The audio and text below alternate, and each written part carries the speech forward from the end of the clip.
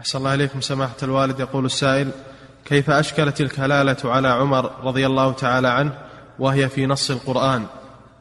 أشكل عليه دخول ألو... ألو... الوالد فيها اللي في القرآن الولد مع أنه أيضا الرسول صلى الله عليه وسلم قال تكفيك تكفيك آية الصيف يعني الآية التي في آخر سورة النساء قال له تكفيك آية الصيف أي التي نزلت الصيف في آخر سورة البقرة. وأما في أول السورة فلم يفسر الكلالة. نعم.